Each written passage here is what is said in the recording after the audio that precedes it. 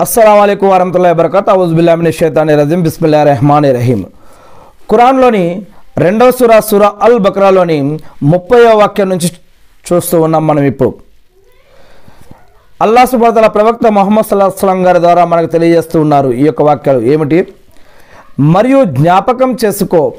నీ యొక్క ప్రభువు దైవదూతలతోటి వాస్తవంగా నేను భూమిలో ఒక ఉత్తరాధికారిని ఖలీఫాను సృష్టించబోతున్నాను అని చెప్పినప్పుడు మొట్టమొదటి మానవుడైనటువంటి ఆదాం అనబడే ఒక మనిషిని నేను నేను సృష్టించబోతూ ఉన్నాను అని దేవుడు దేవుడు సృష్టించినటువంటి దూతలతోటి చెప్తూ ఉన్నప్పుడు ఆ దైవదూతలు ఏమన్నారు అంటే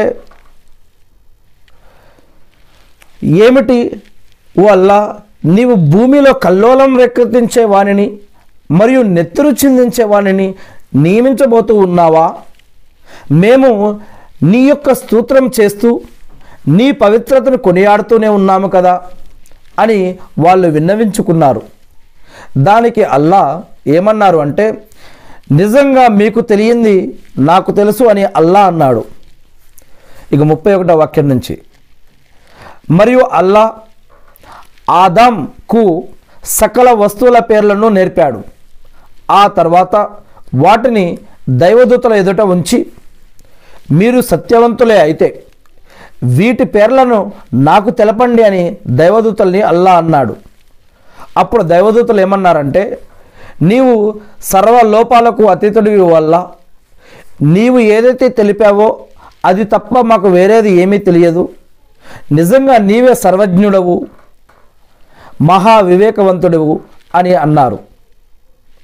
అప్పుడు అల్లా ఓ ఆదాం వీటిని ఈ వస్తువుల పేర్లను వాళ్ళకు వీరికి తెలుపు అని అన్నాడు. ఎప్పుడైతే అతను ఆదాం అలస్లం గారు మొట్టమొదటి మానవుడు ఆ వస్తువుల పేర్లను వారికి తెలిపాడో ఆయన అన్నాడు నిజంగా నేను మాత్రమే అంటే అల్లా అన్నాడు. ఏమని? నిజంగా నేను మాత్రమే భూమి ఆకాశాల అగోచర విషయాలను ఎరుగుదును అని మీతో చెప్పలేదా? మరియు మీరు ఏది బహిర్గతం చేస్తారో మరియు ఏది కూడా ఏది దాస్తారో కూడా అన్నీ నాకు బాగా తెలుసు. అంటే మీరు బైక్ బయటకు చెప్పేవి లోపల ఆలోచించుకునేవి ఆలోచించకబో ఆలోచించుకోబోయేవి ప్రతిదీ కూడా నాకు తెలుసు అని అల్లా సుబానతల తెలియజేస్తూ ఉన్నారు. ముప్పై నాలుగో వాక్యం. మరియు జ్ఞాపకం చేసుకోండి మేము దైవదూతలతోటి ఇలా అన్నాం. ఎవరంటున్నారు ఇది? అల్లా. మీరందరూ కూడా ఆదాం అనబడే ఆ మానవుడి ముందు సాష్టాంగం చేయండి సజ్దా చేయండి అని ఆదేశించినప్పుడు ఒక ఇబ్లీస్ తప్ప మిగతా వారందరూ కూడా సాష్టాంగం చేశారు సజ్దా చేశారు. అతడు నిరాకరించాడు. మరియు దురహంకారానికి గురయ్యాడు. మరియు సత్య తిరస్కారాలలో వాడైపోయాడు. ఈ యొక్క ఇబ్లీస్ ఎవరని మీకు సందేహం కలగవచ్చు. దే దేవుడు కురాన్లో తెలియజేస్తూ ఉన్నారు ఏమని? మట్టి నుంచి మానవుణ్ణి తయారు చేశాను అని. వెలుతురిని తయారు చేసి ఆ యొక్క వెలుతురు నుంచి దైవదూతలను తయారు చేశాను అని. అగ్నిని అగ్నిని తయారు చేసి ఆ యొక్క అగ్ని నుంచి జిన్నులను తయారు చేశాను అని అల్లా చెప్తూ ఉన్నారు. ఈ యొక్క దైవదూతల గు- గుణగణాల గురించి మానవుడి యొక్క గుణగణాల గురించి జిన్నుల యొక్క గుణగణాల గురించి కూడా ఖురాన్లో చెప్పడం జరిగింది. ఈ జిన్నుల గురించి తెలియక చాలామంది దెయ్యాలు ఆత్మలు ఇంకా ఏమేమో అని అనుకుంటూ ఉన్నారు. కానీ అసలు వాస్తవం ఏంటో కురాన్లో చెప్పడం జరిగింది. ఈ యొక్క జిన్ను వర్గానికి సంబంధించినటువంటి ఇబ్లిస్ని దైవదూతలతోటి పెట్టినప్పుడు ఆ దైవదూతలతో పాటు ఇబ్లిస్ను కూడా ఆ యొక్క మొట్టమొదటి మానవుడైనటువంటి ఆదామలసం గారి ముందు శాస్త్రంగం చేయమన్నప్పుడు దైవదూతలు చేశారు. అల్లా యొక్క ఆజ్ఞ ప్రకారం దైవదూతలు అయితే చేశారు సజ్జా. కానీ ఇబ్లిస్ మాత్రం సజ్దా చేయలేదు. అప్పుడు ఏం జరిగింది? ముప్పై ఐదో వాక్యం నుంచి సూర్య అల్బక్రాలో మరియు మేము ఆదాముతో అన్నాము ఓ ఆదాం నీవు మరియు నీ భార్య అవ్వ అలైస్లాం ఈ స్వర్గంలో నివసించండి. మరియు మీరిద్దరూ మీకు ఇష్టమైనది యథేచ్ఛగా తినండి. కానీ ఒక చెట్టు ఉంది అది ఈ చెట్టు. ఈ చెట్టు దరిదాపులకు కూడా పోవద్దు. అలా చేస్తే మీరిద్దరూ కూడా దుర్మార్గులలో చేరిన వారు అవుతారు అని చెప్పడం జరిగింది. ఆ తర్వాత సైద్ ఇప్పుడు ఆ ఇబ్లిష్ని ఆయన ఇబ్లిస్ శపించబడ్డాడు. దురహంకారి అయిపోయాడు. సత్య తిరస్కారి అయిపోయాడు అని చెప్పాం కదా. ఆ యొక్క సైతాను ఏం చేశాడు? ఈ యొక్క స్వర్గంలో ఉన్నటువంటి అవ్వా మరియు ఆదామలస్లం గారి వేరే వారిద్దరిని దాని స్వర్గం నుండి తప్పించి వారిద్దరిని వారున్న స్థితి నుంచి బయటకు తీశాడు. మరియు మేము అంటే అల్లా ఎలా ఏమన్నాడు? మీరంతా ఇక్కడి నుంచి దిగిపోండి. మీరు ఒకరికొకరు విరోధులు అవుతారు ఒక నియమిత కాలం వరకు మీరు భూమిలో ఉండవలసి ఉంది. అక్కడే జీవితం గడపవలసి ఉంటుంది. అన్నప్పుడు ముప్పై ఏడో వాక్యంలో తర్వాత ఆదాం తన ప్రభువు నుండి అల్లా నుండి కొన్ని మాటలు గ్రహించి పశ్చాత్తాపపడి క్షమాభిక్ష కోరాడు. మరియు అల్లా అతని పశ్చాత్తాపాన్ని అంగరించ అంగీకరించాడు. నిజంగా ఆయనే ఆ అల్లానే పశ్చాత్తాపాన్ని క్షమాపణను అంగ అంగీకరించేవాడు అపార కరుణాప్రదాత ఆ అల్లా. అల్లాహు అక్బర్. ఇక మేము అంటే అల్లా చెప్తున్నారు ముప్పై ఎనిమిది వాక్యంలో. అల్లా ఇలా అన్నాడు ఏమని?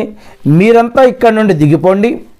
ఇక నా తరపు నుండి మీకు మార్గదర్శకత్వం తప్పక వస్తూ ఉంటుంది.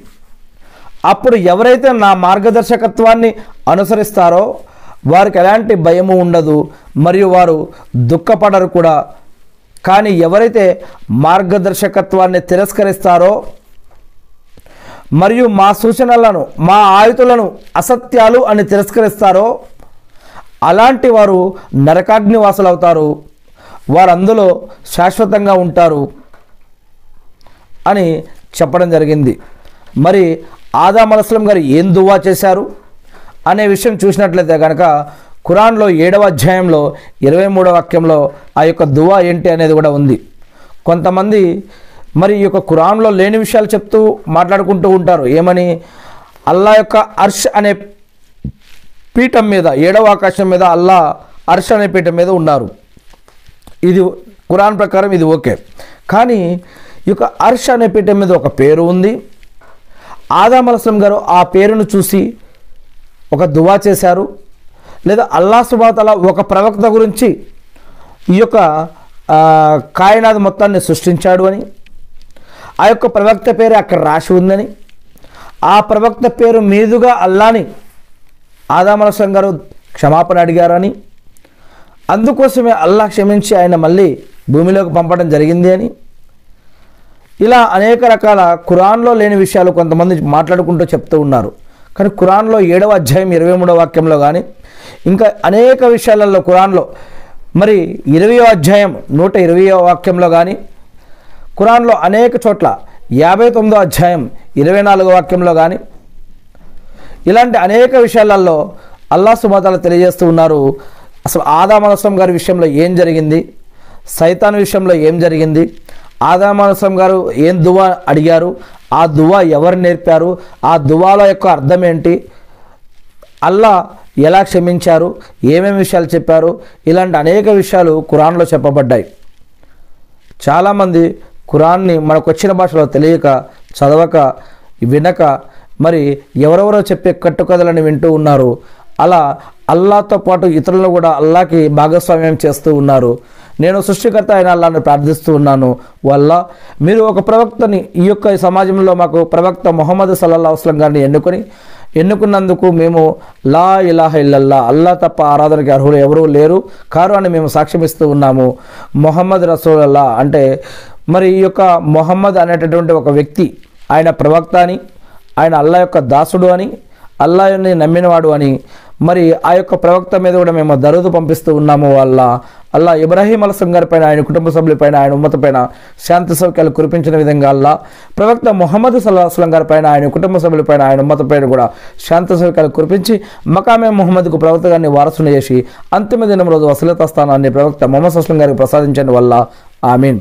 అల్లా మీరు ప్రవక్త మొహమ్మద్ సల్లాహస్లం గారిని ప్రవక్తగా ఎన్నుకొని ఆ ప్రవక్త ద్వారా మాకు ఏదైతే ఖురాన్ మరియు హదీసులను ఇచ్చారో వాటిని కూడా మేము తెలుసుకొని నేర్చుకుని అర్థం చేసుకొని గుర్తుపెట్టుకొని వాటి ప్రకారం మేము జీవిస్తూ మిమ్మల్ని ఆరాధిస్తూ తెలియని ఇతర మా సోదరి సహోదరులు కూడా తెలిపే భాగ్యాన్ని మాకు ప్రసాదించడం వల్ల మా అందరికీ కూడా వీరు సృష్టిలో సృష్టించిన అన్ని రకాల ఆపదల నుంచి రక్షించడం వల్ల ఇహలోకంలో సమాధి జీవితంలో పరలోకంలో కూడా మాకు ప్రళయ దినం రోజు కూడా మాకు సహాయం చేయడం వల్ల అల్లా మాకు ఆధ్యాత్మిక పరంగాను ఆరోగ్యపరంగాను అల్లా ఐశ్వర్యపరంగాను అన్ని విధాలుగా మాకు సహాయం చేయడం వల్ల. ఆమె